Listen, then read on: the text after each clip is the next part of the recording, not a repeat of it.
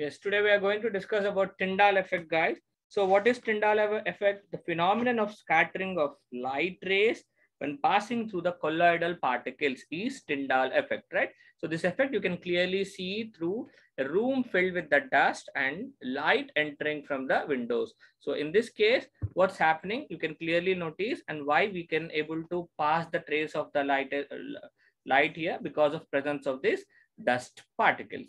So these dust particles are going to act like a suspended colloids in the fluid and they are small solid particles suspended in fluid are generally known as colloidal particles. So this phenomenon of scattering of light by the colloidal particles is known as Tyndall effect, right? So we can also observe the Tyndall effect from the dense forest of canopy of trees.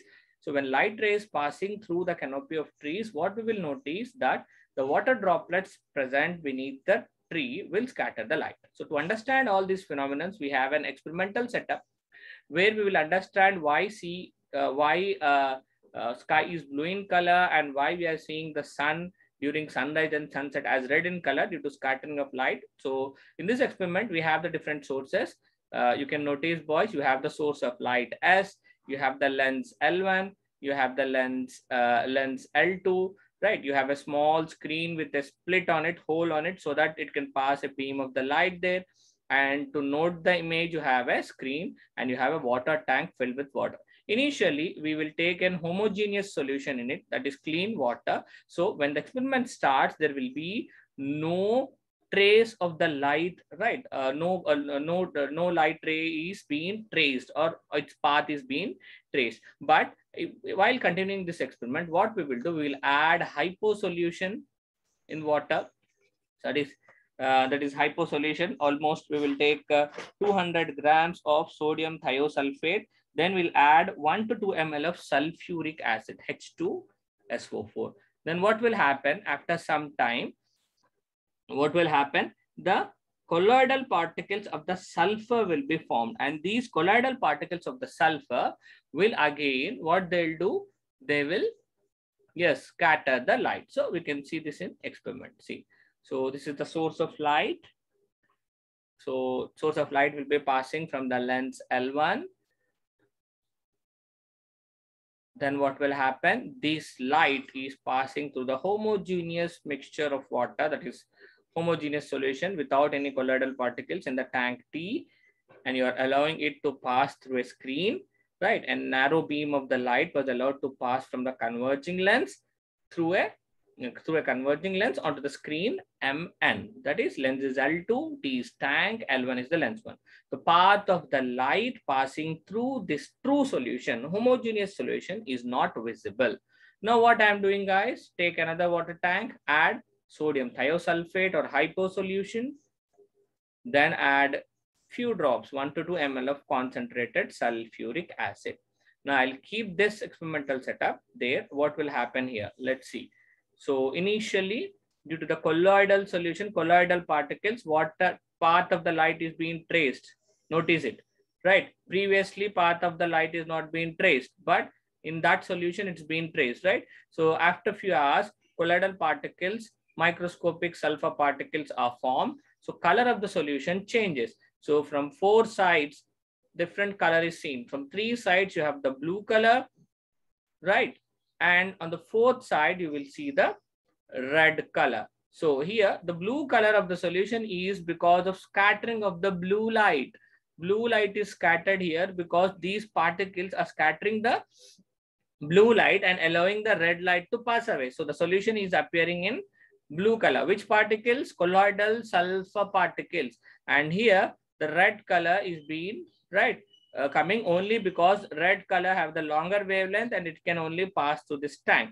So you are getting the red color. So in this with this experiment, we can explain why the sky is blue in color. Sky is blue in color because like in this solution, you have the colloidal particles. In sky, you have the colloidal particles of dust, you have water droplets or mist, and some gaseous particles.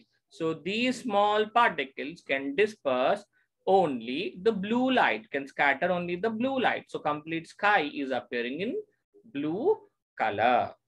Okay, guys. So let's continue this experiment.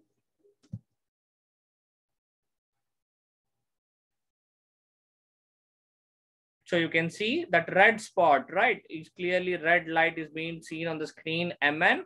So different colors in the tank are visible due to scattering of light by by colloidal sulfur particle. Now this is called as Tyndall effect, right? So Tyndall effect is also reason for the different colors of the sky, colors of the, uh, right, uh, what can we say, clouds and reddening of the sun during sunrise and sunset, right? And this is because of atmosphere present, right? And the scattering effect of atmosphere also. Okay, boys? So why this is happening? Why these all different colors is being interesting colors are being seen in the atmosphere. See, you can see on the Earth's atmosphere, like we already discussed, we have the different particles, right? So you have in dust particles, you have the smoke, you have water droplets, right? So you have suspended dust particles, all of them will form the colloidal particles, right? And they will, what they'll do when sunlight is passing through it, they will disperse the blue light. So the light which is being dispersed is the color of the light which you see. That is the basic phenomenon, right? So the light, the particle scatters a particular color of the scattered light. And the color you see is that scattered color. Okay, guys?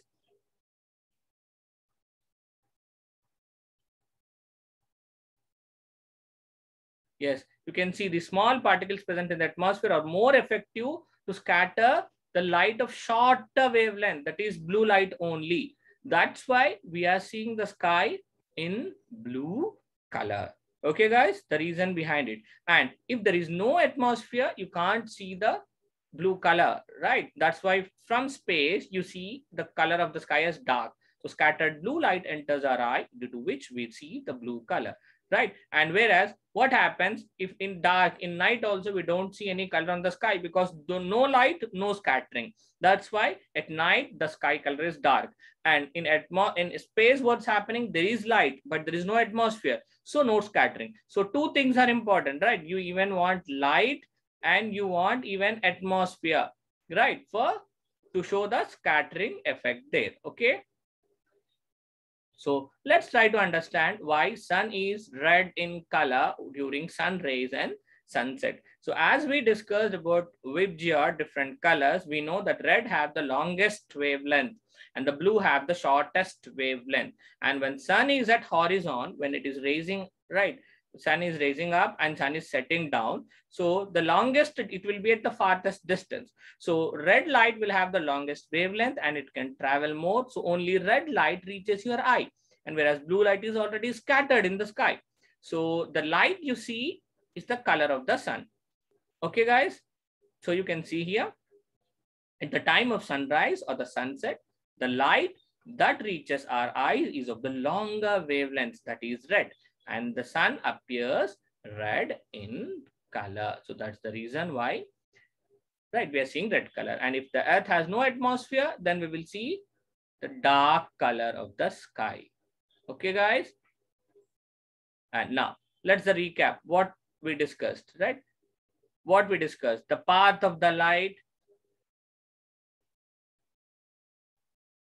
Yes, the path of the light becomes clearly visible due to scattering of light by the colloidal particles present in the path. So what is Tyndall effect? The phenomenon of scattering of light by a colloidal particle is known as Tyndall effect. So Tyndall effect can help us in understanding many things like wonderful phenomena of the nature, like the blue color of the sky, like reddening of the sun rays and the sunset, right? And other things. When sunlight strikes, the minute particles present in the atmosphere, it gets scattered by these particles. The particles scattered, particular color, and the sunlight that we see will be of that color. The color of scattering of light also depends on the size of particles. Smaller the particles, smaller wavelength light will be scattered like blue light. Whereas larger the particles scatter, the color will be of larger wavelength, which we are seeing.